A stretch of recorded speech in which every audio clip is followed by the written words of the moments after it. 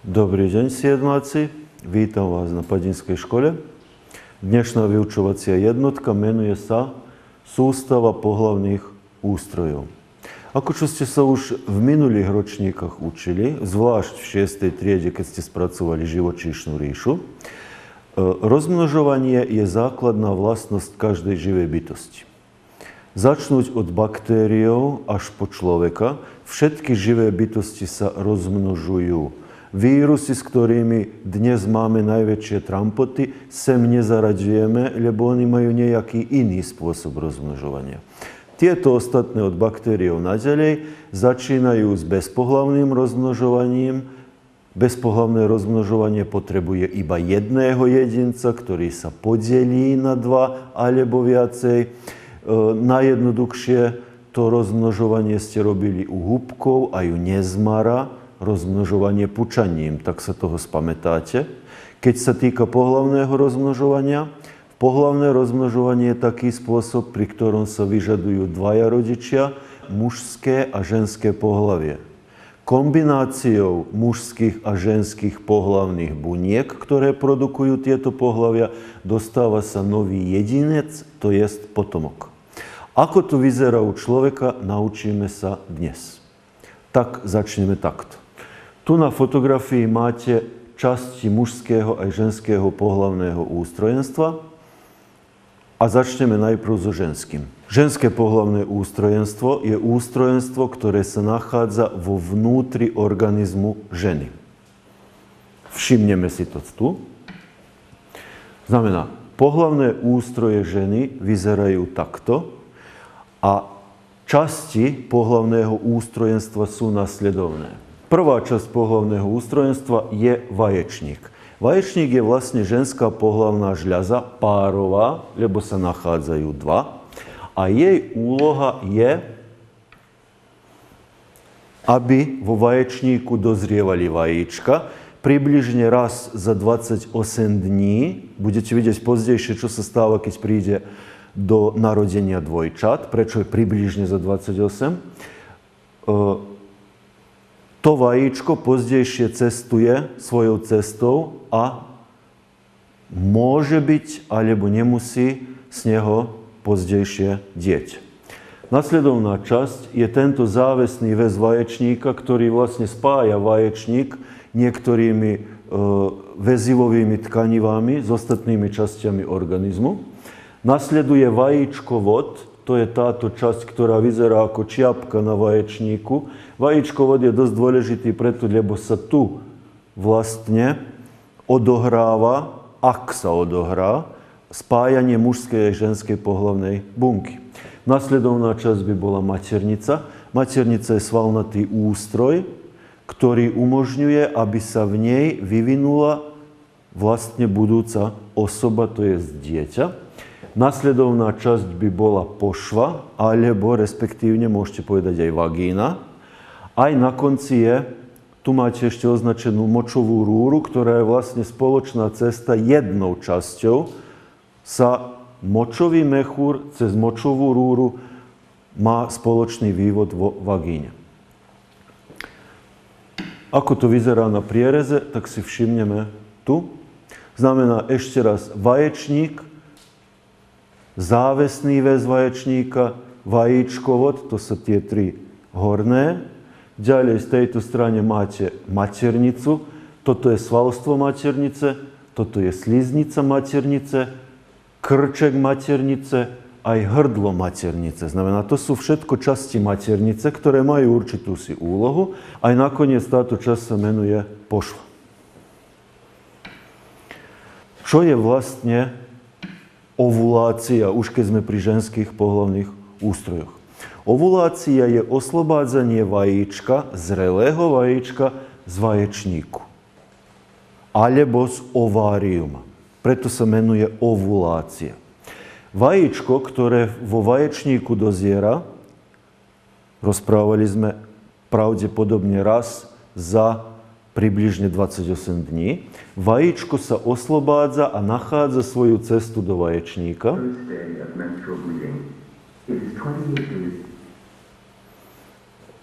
Všimnite si vajíčko, ktoré schádza do vaječníka. Všimnite si jeho cestu. E niekde pravdepodobne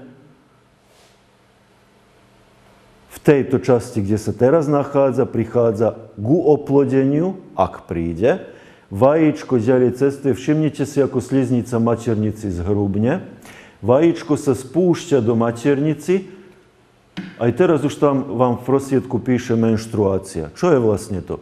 Ak vajíčko sa na svojej ceste neoplodí, tak sa v maternici sliznica spolu s vaječnou bunkou, ktorá je neoplodená, vyhadzuje v jednom e, dej, ktorý sa menuje menštruácia.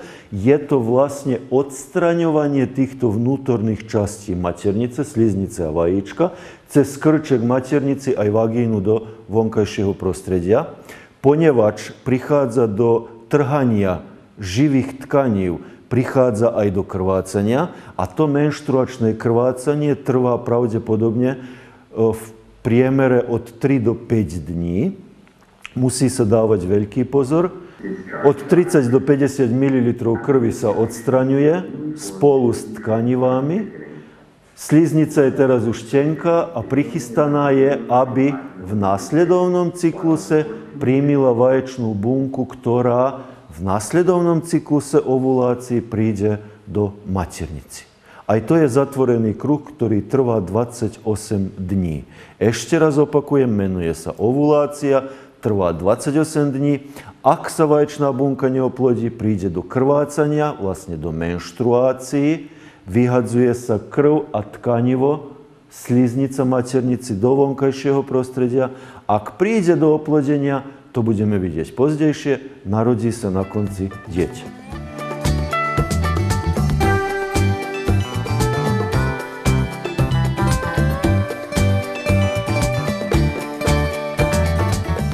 Ako čo sme sa spoznali so stavbou ženských pohľavných ústrojov, tak sa teraz poznáme aj so stavbou mužských pohľavných ústrojov.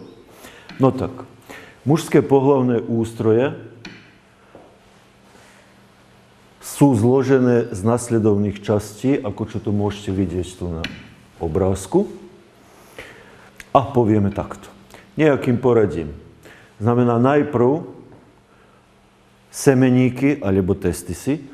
To sú mužské pohlavné žľazy, ktoré produkujú mužské pohlavné bunky. Pozdejšie budeme vidieť, mužské pohlavné bunky sa inak menujú spermia.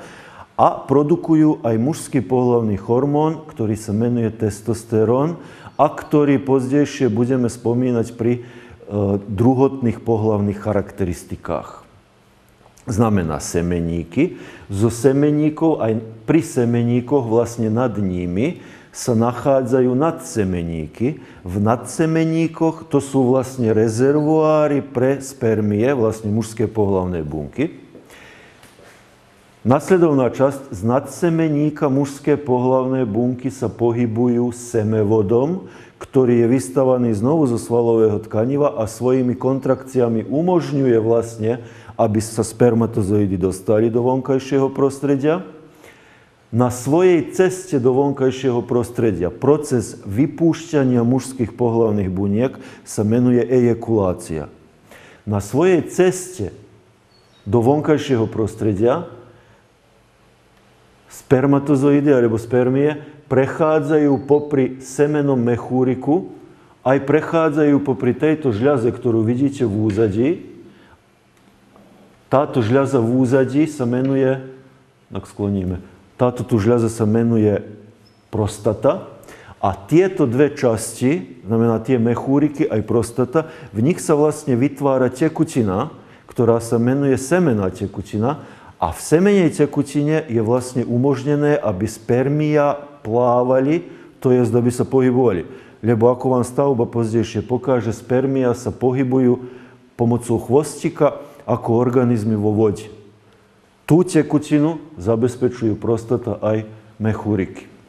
Ďalšia cesta, takúto mužskú pohlavnú tekutinu vodí cez vylučovaciu rúru, ktorá je u chlapov spoločná pre vylučovaciu sústavu. Tento sivý útvar je močový mechúr a toto je odvodová rúra alebo vylučovacia rúra, ktorá je vlastne, prechádza cez mužský pohlavný ústroj a mužský pohlavný ústroj sa menuje pénis.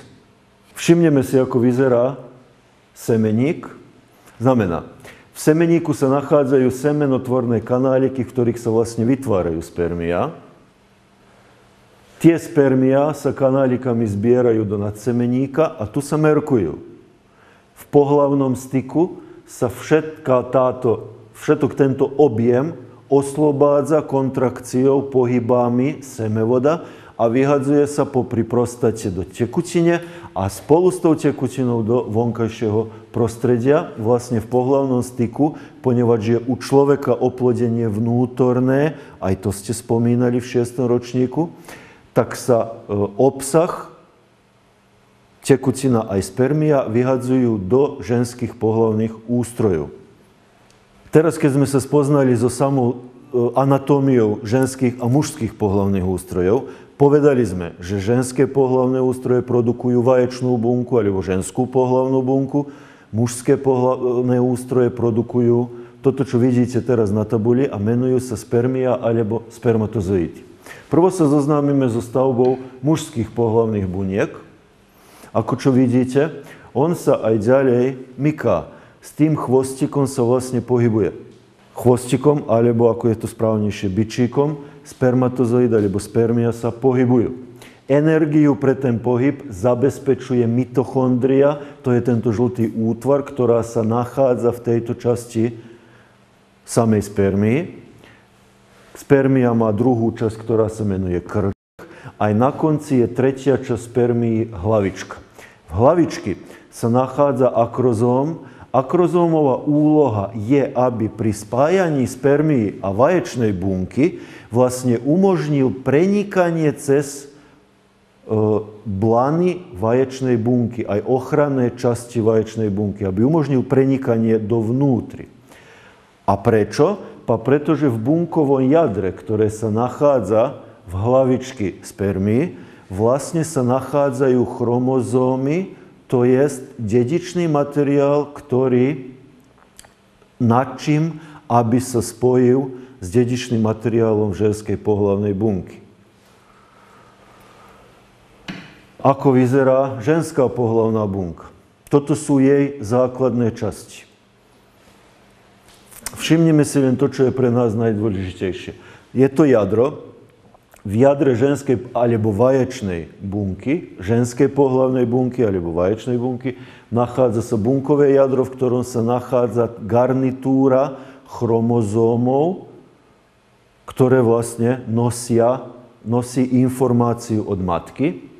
Nachádza sa cytoplazma, nachádza sa bunková membrána, aj nachádzajú sa tieto dve ochranné zóny. E teraz vidíte, prečo spermia vlastne má ten akrozóm, ktorý umožňuje prenikanie do vaječnej bunky. Ako to vyzerá? Všimnime si na jednom krátkom videu. Znamená, spermia sa približujú po vaječnú bunku, hľadajú cestu, aby na nejaký spôsob sa dostali dnu a keď sa dostanú dnu, jadro sa oslobodí, zíde do jadra vaječnej bunky a my vlastne dostaneme niečo, čo sa menuje zárodok. Alebo ešte jeden pojem jestvuje a to je zigot, alebo zigota. Vlastne oplodená vaječná bunka, to by ste si mali zapamätať, menuje sa zigot alebo zigota oplodená. Znamená spojená garnitúra mužských aj ženských chromozómov. Ešte raz si všimnite na jednom druhom videu, ako to vyzerá. Znamená, spermia v pohlavnom styku schádzajú do pohlavných ústrojov ženy, plávajú v tekutine, prichádzajú po vaječnú bunku, Prosím vás, aby ste sa nezbúnili, to nie je vírus, lebo takéto útvary dnes na televízor hľadíte ako vírusy, to je ženská pohlavná bunka. Znamená, jedna, aj opakujem, iba jedna spermia môže prejsť cez ochranné časti. V tom momente, keď sa táto jedna dostane do jadra, tieto ostatné spermia sa jedným osobitným mechanizmom, ale to je už dosť tak náročné, tak sa budete to učiť v stredných školách. Znamená, ostatné spermia zostávajú v týchto ochranných častiach vaječnej bunky, neschádzajú dnu. Ak by zišli, tak to by nebolo dobre, lebo potom by ten organizmus mal viacej chromozómov, ako čo smie. A koľko? To ste sa učili na počiatku, znamená dokope 46. Ak by zišiel ešte jeden mužský, tak to by už bolo o 23 viacej. Znamená, tak sledujeme do konca, ešte niekoľko sekundov. Znamená, táto bunková membrána sa posúva troška bližšie a samým tým tieto ostatné spermia nemôžu preniknúť do jadra ženskej pohľavnej bunky. A čo ďalej s touto bunkou? Tak si všimnite. Ona sa teraz začína deliť. Ženská pohlavná bunka, ak sa oplodí, tak sa začína deliť. Najprv na dve, potom pozdejšie sa rozdelí na štyri a za každým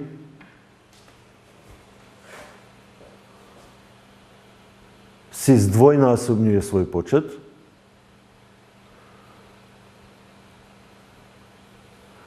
V tejto situácii tento útvar sa už menuje morula a pozdejšie, keď sa ešte viac raz bunky rozdelia, tak sa ten útvar už menuje blastula alebo blastocysta.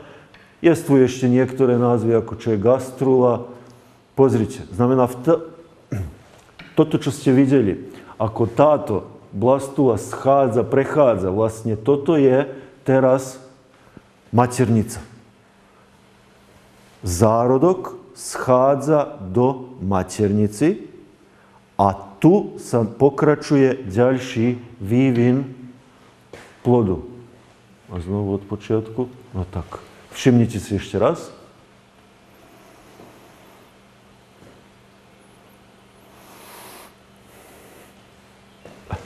Na priečnom priereze tohto útvaru môžete vidieť tieto zárodočné listy. Ak ste sa niekedy nastolili sami sebe otázku, z čoho čo nastalo, tak potom môžete vidieť, z tohto žltého útvaru, ktorý na počiatku vývina, vlastne nastane váš mozog, miecha a koža.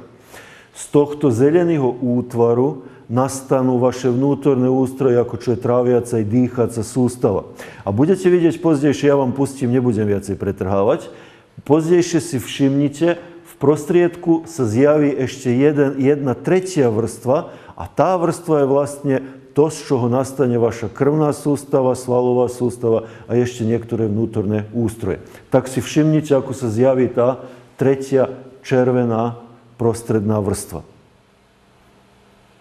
Alebo ak chcete odbornícky, evo, tu je exoderm, endoderm a toto v prostriedku je mezoderm. Aj pozdejšie si všimnite, ako sa vyvíja miecha. V 3D technológii máme šťastie, že to vidíme. Toto je vlastne zárodok.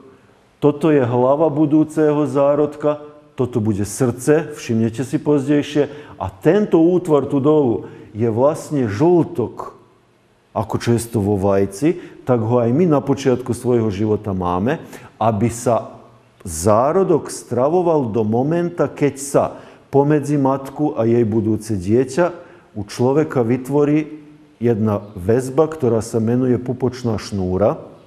Na mieste pomedzi zárodok aj maternicu vytvorí sa plodový koláč alebo placenta. Možno vám to v 6. triede spomínali, cicavce s placentou. Znamená, že máme jeden útvar, ktorý umožňuje výmenu látok pomedzi dieťa aj matku.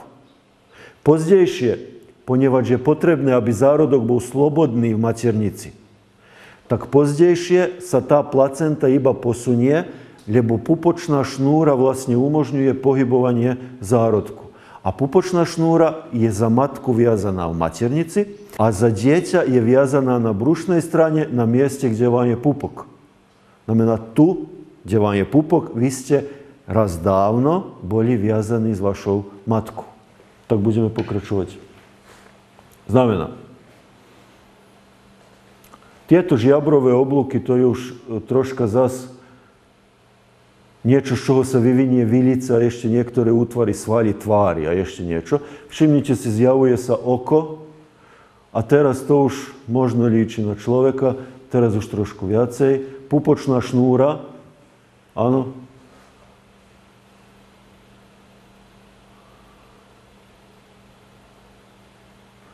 Aj ešte jedna vec, a to je, kde sa vlastne to dieťa nachádza v tele matky, tak si všimnite, znamená, dieťa je v tele matky pred pôrodom, nie na veky, ale pred pôrodom, obrátené hlavou smerom k dolu.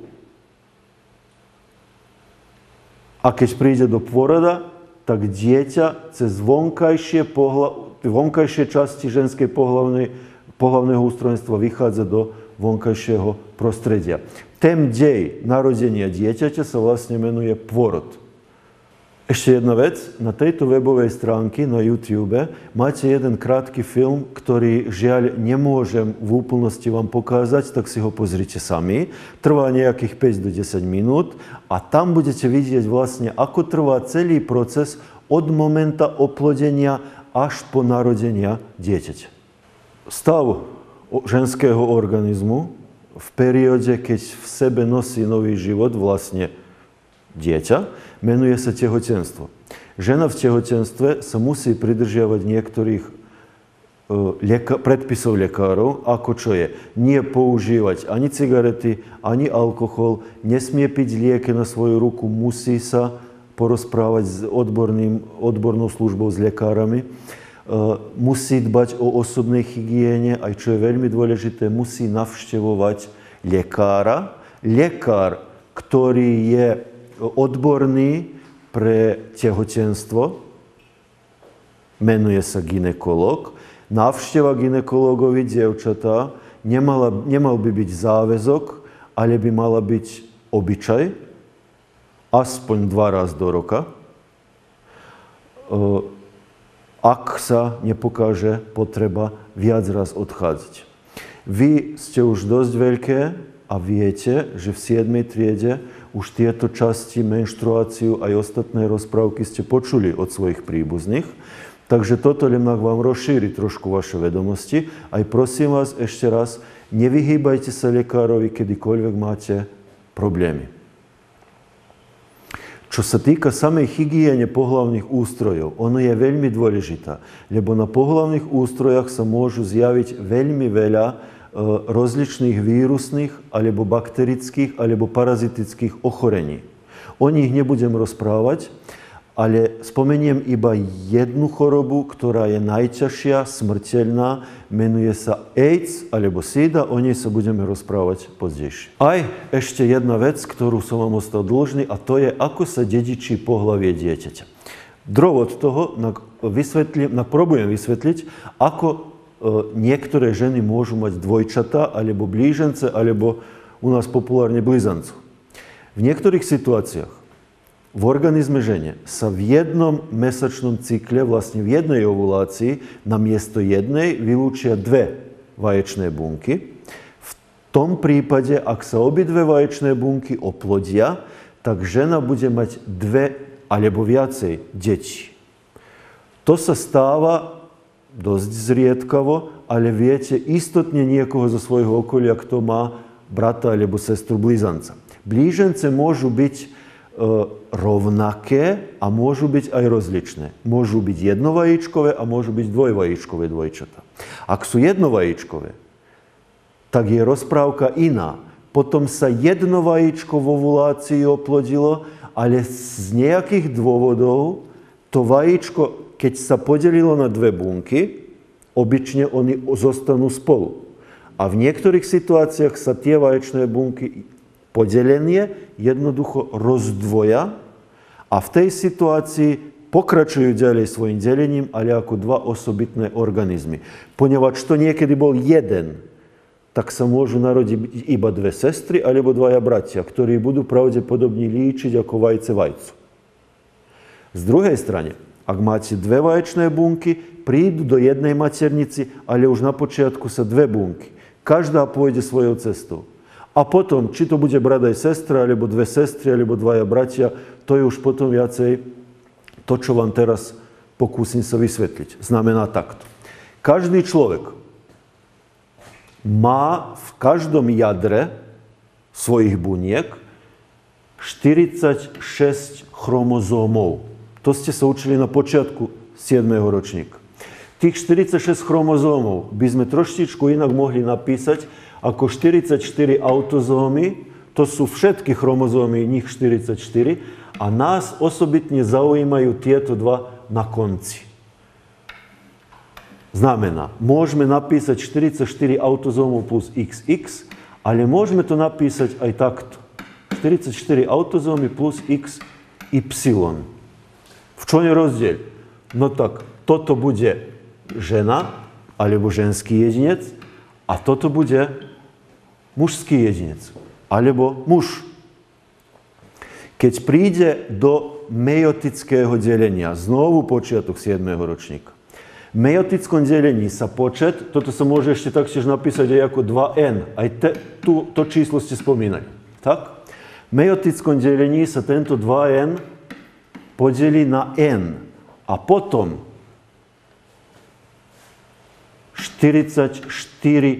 44a plus xx sa vlastne rozdelí na 22a plus 1x ide sem a 1x ide do druhej časti. U chlapa je situácia 44a plus xy, tak sme vraveli, to je chlap, u ňoho dostaneme 22a plus x aj 22a plus, všimnite si, y. Ja viem, že sa vám toto podobá na matematiku, ale nie je. Teraz ide matematika. Ktorá bunka z týchto štyroch gametov sa spojí s ktorou bunkou, probujeme nejako pospájať to šípkami. Znamená, ak sa tento mamín gamet spojí s týmto otcovým gametom, tak v budúcnosti budeme mať 22 plus 22 je 44a plus 1x od mame a 1x od otca. Aj toto bude 44axx, ak ste si všimli pred chvíľou, tak toto vlastne bude dievč. Z druhej strane, ak sa spojí mamin gamet tento s otcovým gametom týmto, tak dostaneme 44a plus x, y a títo dvaja rodičia budú vlastne rodičia jedného chlapca. Na takýto spôsob s týmito tzv. pohlavnými chromozomami, XY chromozomami, my vlastne dedičíme pohlavia. Nie je u všetkých organizmov na našej planéte rovnaká situácia, ale u človeka je to takto. Ja viem, že by sa vám toto zdá, že je dosť komplikované, ale probujte ešte raz prečítať túto časť lekcií vo vašich učebniciach a budete vidieť, že nie je ani tak ťažko. E, ešte jedna, jedno napomenutie a to je, že či rodičia budú mať chlapca alebo dievča, je tu úplná náhoda. Znamená, ktorá spermia prvá príde po oplodenú vaječnú buňku. Buď to táto, alebo táto. E, vzťah je 50%, 50%. Či bude chlapec alebo dievča. A tak v každej tehotnosti. Znamená, keď je žena tehotná, 50% je šanca, že bude mať dievča a 50%, že bude mať chlapca. Myslím si, že by to bolo pre 7. ročník dostatočne. Potrebné je, aby ste v učebnici prečítali túto lekciu, ktorá sa vám tam nachádza, aby ste urobili domácu, ktorú vám dajú vaši učitelia. Ja vás pozdravujem, budeme sa vidieť nasledovný raz.